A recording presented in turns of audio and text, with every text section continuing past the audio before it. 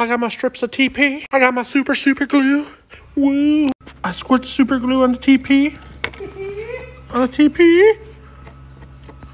And this can go here.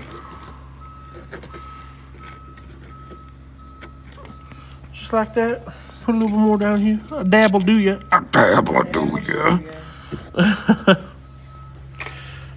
Take a little, little thing and then put it right there. Boop. Woo.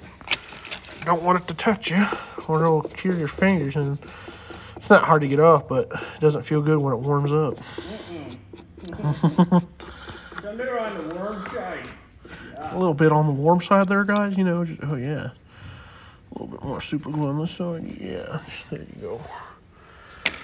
So, it's going to warm itself up, and then it's going to cure to a plastic, and hopefully it fixes my bumper.